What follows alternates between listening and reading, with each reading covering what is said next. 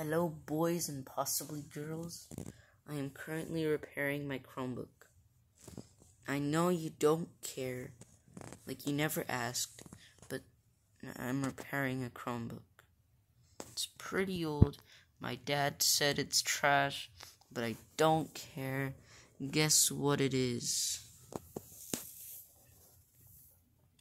The person who guesses it right will be hearted.